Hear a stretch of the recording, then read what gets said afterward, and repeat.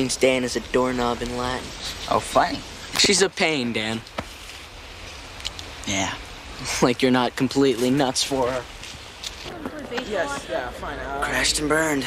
Oh, it's too bad. I figure you were good for at least 50th place. At least I competed. I'll make sure Dan does all the dishes and stuff.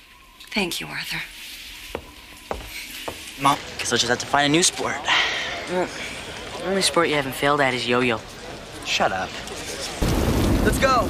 Chill out, man. I'm starting to think you don't appreciate the qualities I bring to our friendship.